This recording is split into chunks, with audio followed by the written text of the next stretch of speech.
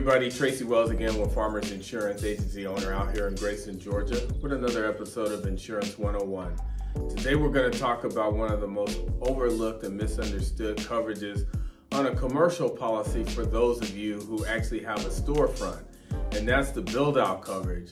And this uh, goes whether you own the building or you lease the building that is the coverage that you want to definitely have included on there, which will cover anything that you put into getting the space the way that you want it. Whether, like in my case here, I have partitions for offices, and if you're maybe a restaurant owner, you put all the equipment in there for your, you know, for your cooking. You have, uh, you know, your the booths that you have in the building uh, space for your uh, your clientele.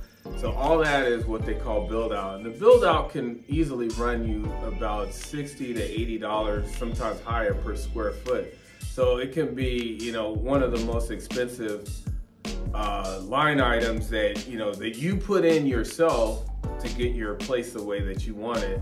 And you don't want to risk that by not having that covered. And if there is a loss, whether it's a fire, windstorm, and everything is completely gutted, all you would get is four walls if you uh, don't have that coverage and then you're gonna have to dig back into your pocket again to pay for all that over again. So for a small amount just have the policy cover all that. It's a really re reasonable rate to cover it in most cases and uh, you definitely want to make sure it's included.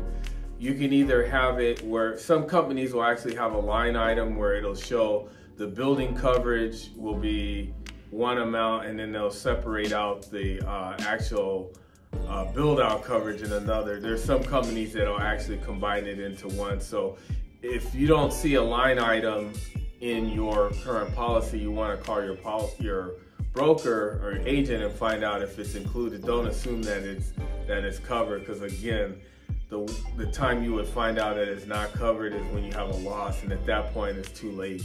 So if you have any questions about any further questions, you can give me a call at 678-691-3438 or you can uh, send me an email at twells at farmersagent.com and you can look me up on my website which is traceywells.net and Tracey is spelled T-R-A-C-E-Y. Don't forget to smash that like button and hit that bell on the way out. That way you'll be notified when we drop new videos. Uh, analytics are telling us that only 5% of people are looking at my videos are actually subscribing, so please subscribe. Like I said, hit that bell and, and you know on your way out, and you'll be subscribed. And again, thanks for watching.